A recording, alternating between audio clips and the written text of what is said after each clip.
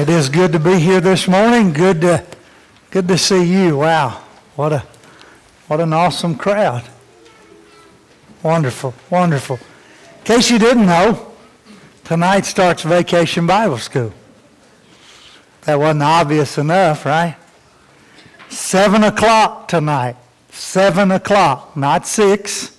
Seven. Please make a mental note of that. We will have prayer session. Roger Mashburn may remind you of some of these things at the end, but repetition is a good thing. So we will have prayer session at 6:30, and the kids will make cards at 6:30, and but we won't start till 7. So move everything back an hour this evening from what your normal schedule would be.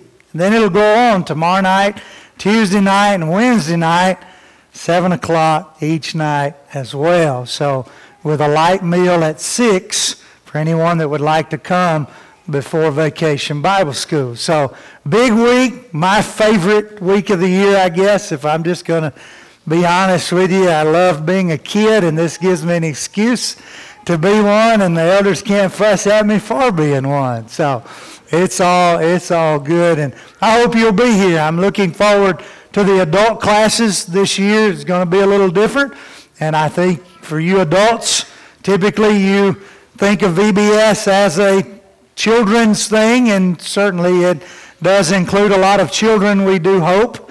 But uh, it's also for the adults, and I hope you'll be able to come this week as well and enjoy the Bible studies by uh, the various teachers as they rotate out. A lot of, lot of good, a lot of fun to be had this week. With that in mind, this morning, I thought, you know, We'll just start by giving you some introduction. So if you have your Bible with you, if you want to be opening them to Psalm 5, the fifth Psalm is where we'll start this morning. In case you didn't know, and in case you haven't read the front of your family news, our theme for this year is Righteous Roundup. It's a Western type cowboy theme. Does some things behind me start to make a little more sense now and different things. And so, what we're looking for is children that want to be righteous. What God is looking for is people that want to be righteous. And so I began to ask myself the question what is righteousness? And what does being right look like? And so this morning I want you to go on a little journey with me as we study righteousness from a couple of aspects with a little overview from all four lessons, not to step on any of the speakers' topics for this week, but just kind of give you a preview of what's coming and then make some conclusions in the lessons yours. As I analyze righteousness, as I think about the concept of righteousness and how it relates and who's involved and how can it be acquired and I began to look at it from two angles. The first angle I look at it from is God's angle. Oh, I don't know how many, 25, 30, 35, 40, maybe even as many as 50 Psalms. Close to a third of the Psalms have a reference to the idea of God's righteousness. So start there with me. You ready? Psalm 5 and verse 8. Lead me, O Lord, in your righteousness. That idea, that concept, time would not allow, but it would be a great study for you personally at home, for you to do a word search of righteousness just in the Psalms. Go through and read each one in its context of the psalm in which it's found and, and identify what it is that the psalmist is really after. Clearly, in the fifth psalm, he's after the righteousness of God the desire to be led by God into His righteousness. If you flip over just a page or two, maybe in your Bible, to the 11th Psalm, I'll give you one more. The 11th Psalm and verse 7, the very last verse. For the Lord is righteous. Now, here's you another fun study if you're looking for something to do to help improve your spiritual life at home. Go through and find every time it says the Lord is and fill in the blank. The Lord is. And when you get done, you will have a, maybe not exhaustive, but you will have a very comprehensive list to describe the nature and being of our God. Among that list would have to be Psalm 11 and verse 7. The Lord is righteous. But then notice what the psalmist goes on to say. He loves righteous deeds. Our theme for this week is righteous roundup. Wanted. Righteous children of God. That's the theme for the week. We're looking for people who understand that God is righteous. Not just that God is righteous, but that God desires for people to be righteous. You flip over in your New Testament and you fast forward to the third chapter of the book of Romans. Cameron did a wonderful job using this passage last Sunday night in our youth night lesson. Romans chapter 3, verses 21 through 26. Several times the righteousness of God is mentioned over and over. While you're flipping there, I'll remind you of Matthew chapter 6 and verse 33. You might remember what it says. But seek ye first the kingdom of God and his righteousness. You see, we, we, we, we promote this idea of seeking first the kingdom, and, and accurately so, but the verse doesn't end there. Matthew 6:33, seek first the righteousness of God.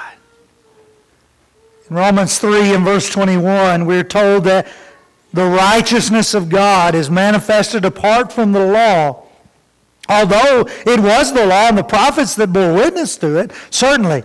But the righteousness of God, verse 22, through faith in Jesus for all who believe, for there's no distinction. We've all sinned and fall short of the glory of God, and so therefore we're justified by His grace. It is a gift through the redemption that is only found in Christ Jesus, whom God put forward as a propitiation by His blood to be received by faith.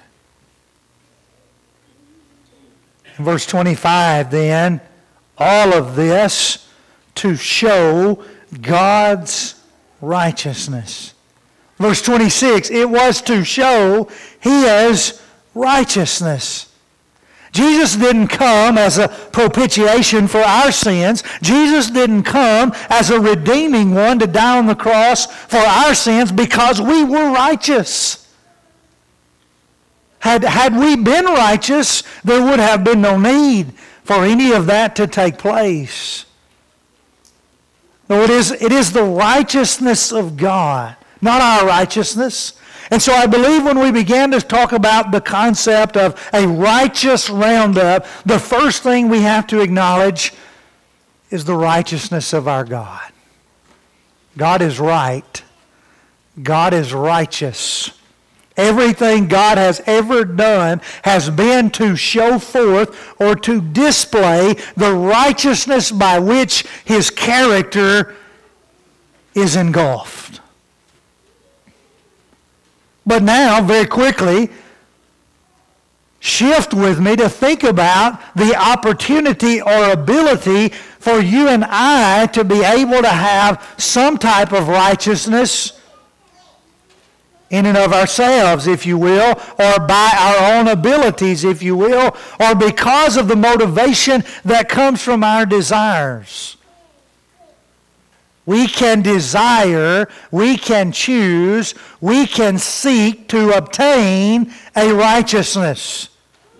Ultimately, understanding and appreciating that because of God who is righteous. If I were to compare it, I would compare it very quickly by parallel to that of love. You understand love only because God first loved you.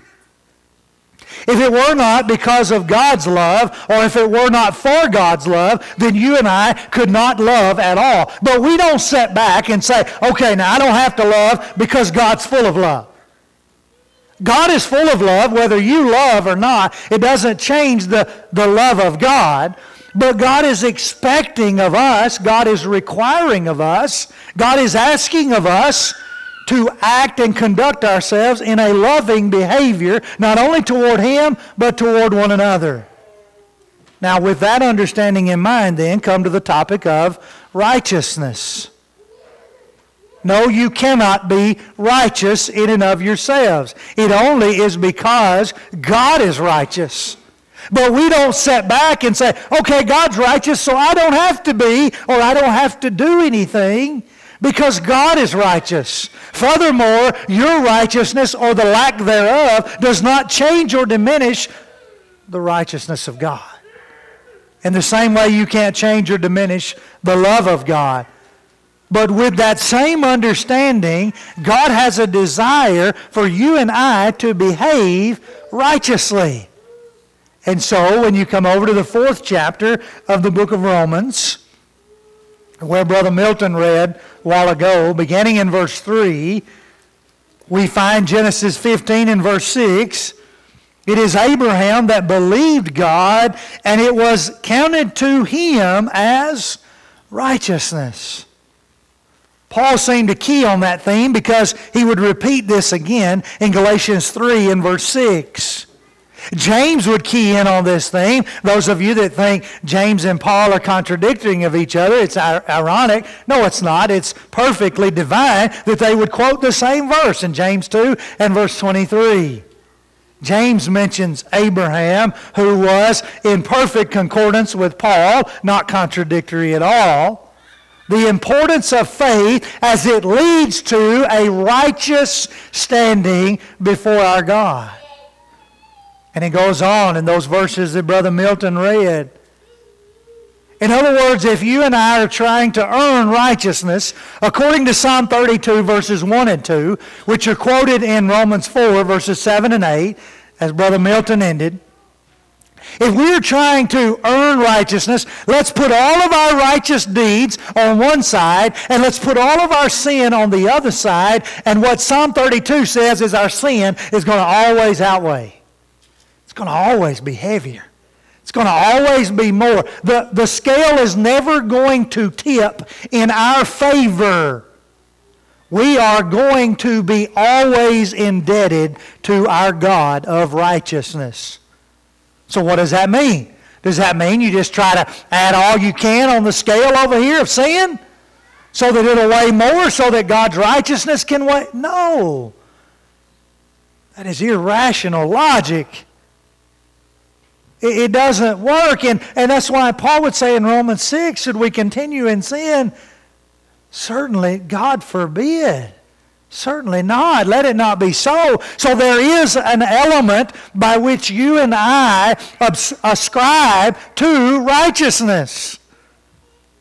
Because of that, you call it through faith. Absolutely. That's what Romans 4, drop down to verse 9.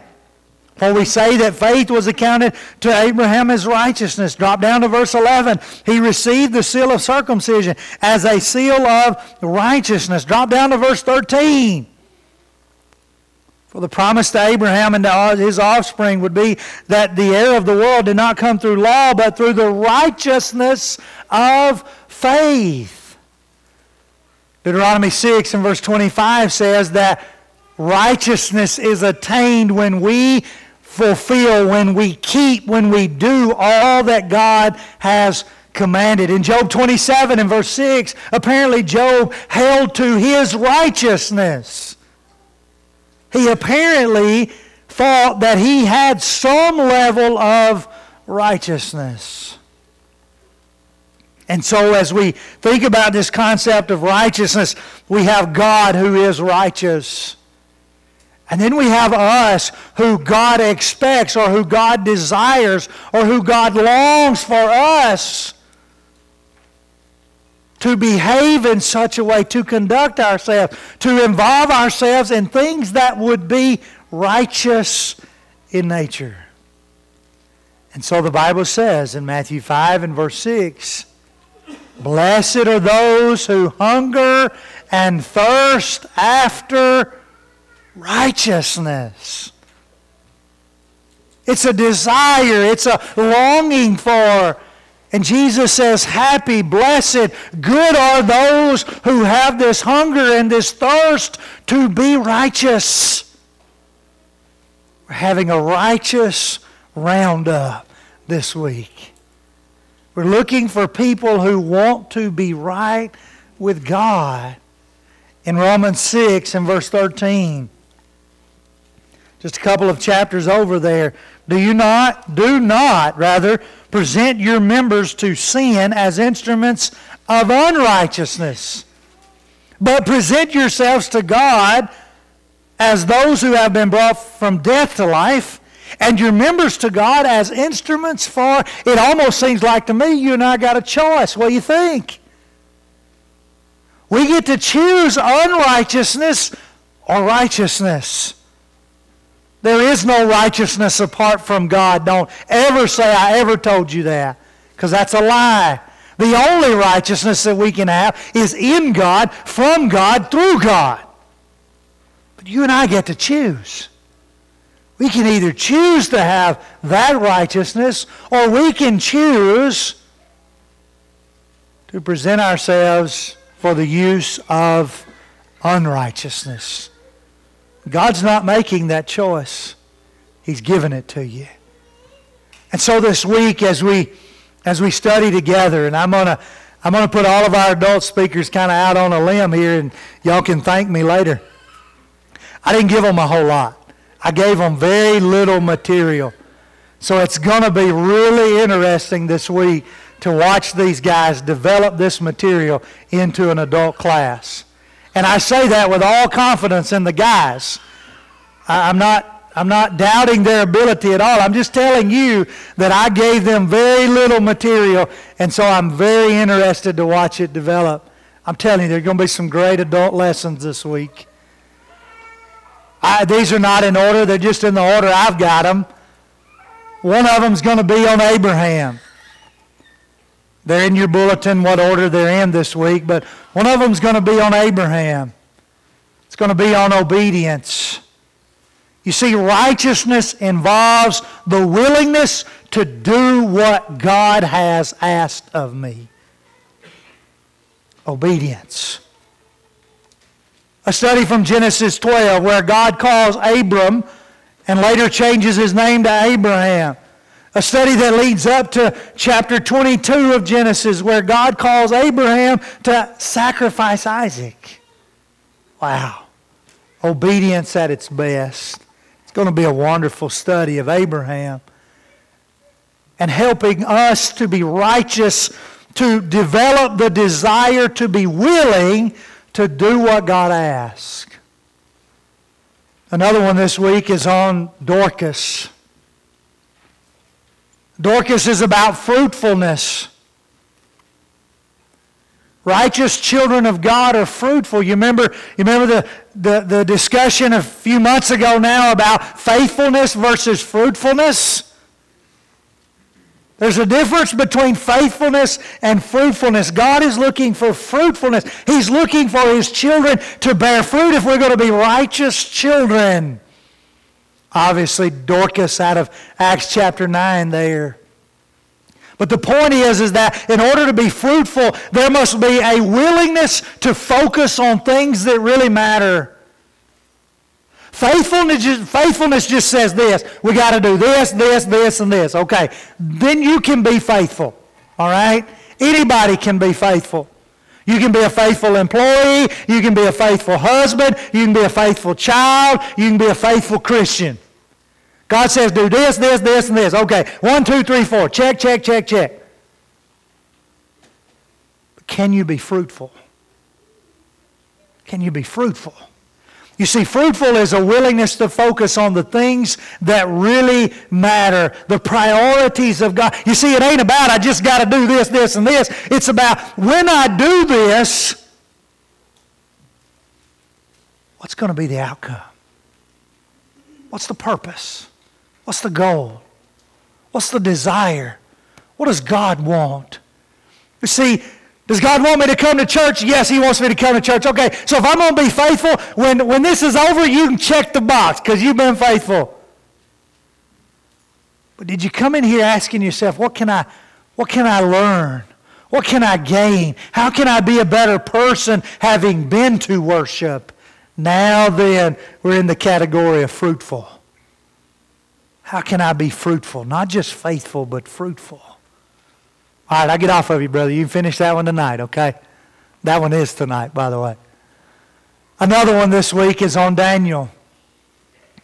A righteous child of God prays. Daniel. Perhaps the most notable prayer in the book of Daniel is Daniel chapter 9. The problem is kids just don't get that one much, okay? So you back up to Daniel chapter 6 because he prays there. Apparently Daniel prays a lot. What do you think? Daniel chapter 6, the lion's den, right? Daniel gets in trouble because he's praying. You see, a righteous child of God prays. A righteous child of God is willing to ask for God's help. I can't do this on my own. I can't, I can't continue on my own. I got to have help. And that's what prayer does. Prayer humbles us.